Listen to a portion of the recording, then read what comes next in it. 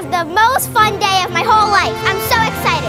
The winter carnival should be every day after school, so I could just, like at night too.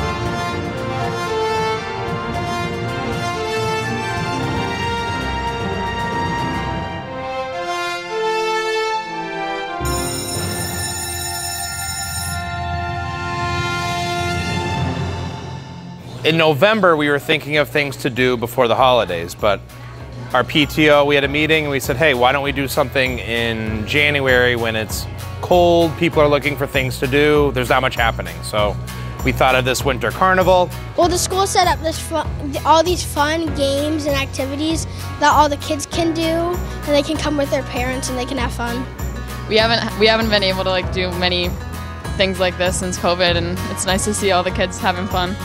Basically, they take the school and they make it less school, but fun. They make school fun, which is very hard, but they do.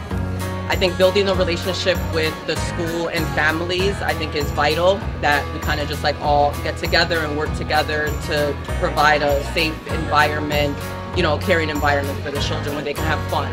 Uh, it's really to get the community involved, uh, not just parents and students, but also the other schools. So Chicopee Comp, we have uh, volunteers from their NHS. We're here for NHS. We're volunteering with the carnival going on at Lambert Lavoie today, and we're just trying to make children happy.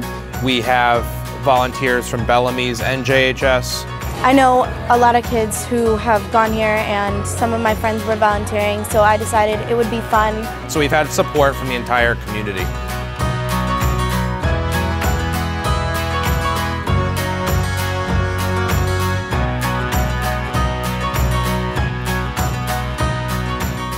Pop and Duck Dropper down here, and then there's tattoo and photo booth, and then there's snacks, hot chocolate, and cookies.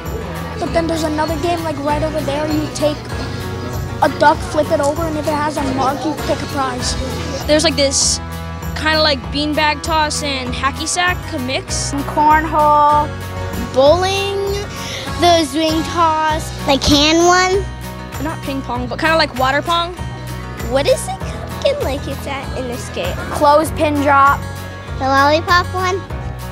Toss the beanbag. I played games. I forgot everything I played. Once you complete the game, you um you get a like a stamp or a check or something, and you go on to the next game.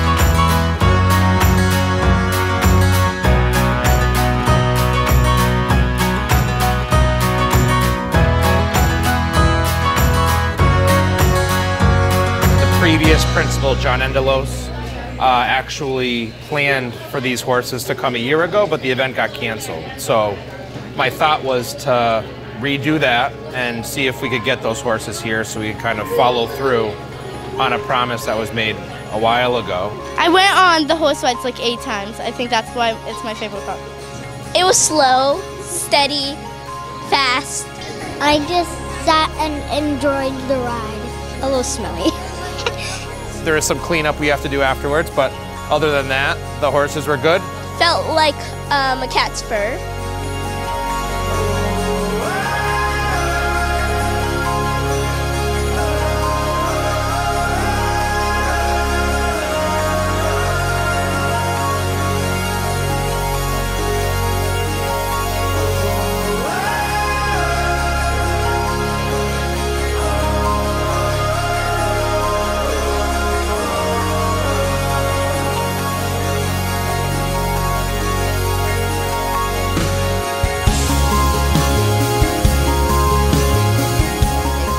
Exciting. Like it makes them want to come to school and like want to be here because they have fun here.